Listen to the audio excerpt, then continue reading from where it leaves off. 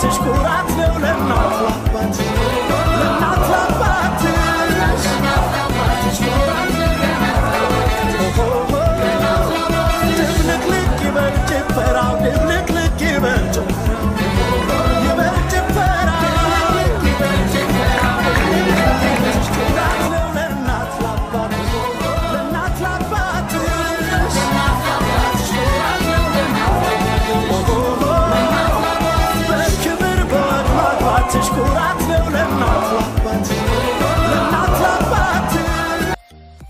ሰላም የጊሆን ሚዲያ ተከታታዮቻችን እንደምን ውላችኋል? ዛሬ አስደሳችና በጣም አስገራሚ የሆነ ዜና ይዘንላችሁ መጥተናል። ለቻናላችን አዲስ ከሆኑ subscribe በማድረግ እንዲሁም ቪዲዮ like በማድረግ አብራችሁን ቆዩ። በትናንትናው ዕለት በጣም አዲስና አስደሳች ዜና ተሰምቷል። በተለያየ የትወና ዘርፍ የምናውቀው ገና በልጅነቱ ወደ ጥበብ ሙያ የመጣው ኢዮብ ዳዊት ከሜላት ተስፋዬ ጋር መሞሸሩ ተሰምቷል። ይህንን ቪዲዮ ይዘንላችሁ መጥተናል። እስከ ቪዲዮ ፍጻሜ አብራችን እንድትቆዩ በአክብሮት እየጠየቅን ለቻናላችን አዲስ ከሆኑ subscribe በማድረግ እንዲሁም ቪዲዮን like፣ share በማድረግ በ comment ገጻችን ላይ እንኳን ደስ አለ ሰርጋችሁን የአብርሃምና የሳራ ያድርገው በማለት ሀሳብ አስተያየቱን ይጻፉ። ከዚህ ቀደም በትወና ዘርፉ ማለትም በገና በአፍላ እድሜው ወደ ትወና መጥቶ በጣም ብዙ ሰዎችን ያስገረመው ኢዮብ ዳዊት ከሜላት ተስፋዬ ጋር መሞሸሩ ተሰምቷል። ይህም በማስመልከት የሰርጋቸው ፕሮግራም በስካይላይት ሆቴል በደማቁ ተከብሮ ነበር። በሰርጋቸውም ወቅት የተለያዩ የኪነ ጥበብ ባለሙያዎች፣ የፊልም ባለሙያዎችና ዘፋኞች ተገኝተው ነበር።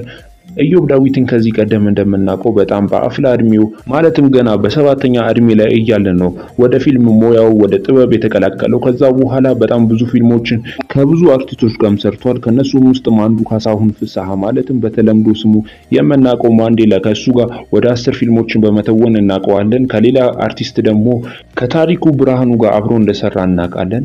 ኢዮብ ዳዊት ከዚህ ቀደም እንደምናውቀው የተለያዩ የፍቅረኛ ጓደኞች እንዳሉትና ከነሱ ጋርም ሊሞሸር እንደነበረ እናውቃለን ግን አልሰመረም እና ይኸው ከሜላት ተስፋዬ ጋር መሞሸሩ ተሰምቷል። እንግዲህ ሰርጋቸውን በማስመልከት ባልደረባዬ ያሰናዳው መረጃ አለ፣ ወደ እሱ እንለፍ። አመሰግናለሁ። እንግዲህ እንደሚታወቀው ሁለቱ ተዋናያን ማለትም ሜላት ተስፋዬና ኢዮብ ዳዊት በተለያዩ የኪነ ጥበብ ሙያቸው በጣም አስመስካሪ የሆነ ሙያቸውን በጣም አሳይተውናል። እንግዲህ ከዚህ ቀደም እንደሚታወቀው በተለያዩ የኪነ ጥበብ ሙያቸው እንደዚሁም ደግሞ በቲያትር በትወና ብቃታቸው በጣም አስገራሚ የሆኑት እነኚህ ሁለት አርቲስቶች በተለያዩ የፍቅር ሕይወት ከቆዩ በኋላ ነው እንግዲህ ወደ ትዳር ዓለም የመጡት እነኚህ ሁለት አርቲስቶች እንደሚታወቀው በልጅነታቸው የጀመሩት ይህ የፊልም ትወና እንግዲህ በአሁኑ ሰዓት ላይ በጣም አንጋፋነትን አካብቶላቸዋል። እንደሚታወቀው ኢዮብ ዳዊት ከተለያዩ አርቲስቶች ጋር የተወነ ሲሆን እንደዚሁም ደግሞ ሜላት ተስፋዬ ብዙ የአርቲስቶች ጋር ተገናኝታ የተለያዩ ስራዎችን እንደምታከናውን ይታወቃል። በተጨማሪም ደግሞ ማለትም ከአርቲስትነት ስራዋ ከፊልም ኢንዱስትሪው በተጨማሪም ደግሞ በሞዴሊንግ ስራዋ ትታወቃለች። እቺ ድንቅ ወጣት እንግዲህ እንደሚታወቀው ከዚህ ቀደም የተለያየ የፍቅር ህይወት ቢኖራትም በተለይም ደግሞ ከአንድ ኤርትራዊ ጋር ትጋባለች ተብሎ ብዙ ቢወራም በአሁኑ ሰዓት ግን አስገራሚና አስደሳች በሆነ መልኩ እነኚህ ሁለት አርቲስቶች ተሞሽረዋል። እንደሚታወቀው እንግዲህ እነኚህ ሁለት ድንቅ አርቲስቶች በተለያዩ የኪነ ጥበብ ሙያቸው ብዙ ጓደኞች እንደዚሁም ወዳጆችን አትርፈዋል። እነኚህ ወዳጆቻቸው ጋር ነው በመሆን የደስታቸው ተካፋይ የሆኑት። ማለትም በስካይላይት የተደገሰው ይህ ድል ያለ ሰርግ በጣም አስደሳች ነገር ነው።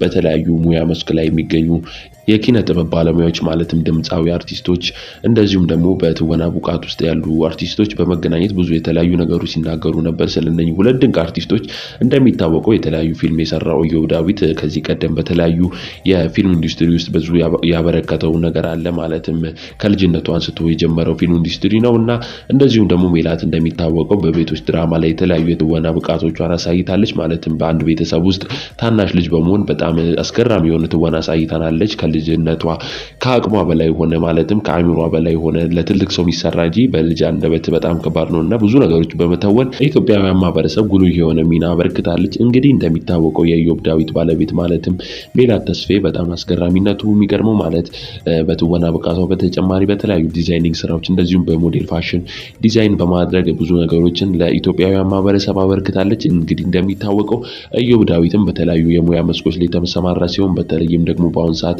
በፊልም ኢንዱስትሪው እንደዚሁም በንግድ ሙያ ላይ እንደተሰማራ ይታወቃል። ኢዮብ ዳዊት በጣም የተለያዩ እና ደስ ደስ የሚሉ ሙያዎችን ለሀገሪቷ እያበረከተ ይገኛል። በተለይም ደግሞ ለተቸገሩ ወገኖች የሚረዳው እርዳታ በጣም አስገራሚነትን አስከትሏል። በአሁኑ ሰዓት ብዙ የጎዳና ልጆችን ከጎዳና ላይ በማንሳት ወደ ትምህርት ገበታቸው በመመለስ እንደዚሁም ደግሞ አረጋውያንን በመርዳት የተለያዩ አስተዋጽኦዎችን አድርጓል። እንደዚሁም ሜላት ተስፋዬ እንደሚታወቀው በጣም የተለያዩ የበጎ አድራጎቶች እንደምታደርግ ይታወቃል። በተለይም ደግሞ በሀገራችን ገጠራማ አካባቢ ላሉ ኢትዮጵያውያን ሴት እህቶቻችን እንደዚሁም ልጆቻችን የተለያዩ መልካም የሆነ ነገር እንደምታደርግ ይታወቃል። ኢዮብ ዳዊት እንደሚታወቀው ከዚህ ቀደም በተለያዩ የፊልም ሙያዎች እንደሚታወቀው ብዙ ብር ያገኛል እና እነዛን ብሮች ለተለያዩ እርዳታዎች እንደሚያውል ይታወቃል። ምክንያቱም ገና ልጅ ሳለ ብዙ የሚያስፈልገው ነገር የለም እና በቤተሰብ ስር ስላለ እነዚህን እነዚህ ነገሮች እያደረገ በተለያዩ የሙያ አጋሮቹ ጋር በመሆን የተለያዩ የእርዳታ ጥሪዎችን ያሰማ ነበር። ከዚህ ቀደም እንደሚታወቀው በተለያዩ የእርዳታ ማዕከል ማዕከላት በመሄድ በራሱ በመገኘት እንደዚሁም ከወዳጅ አጋሮቹ ጋር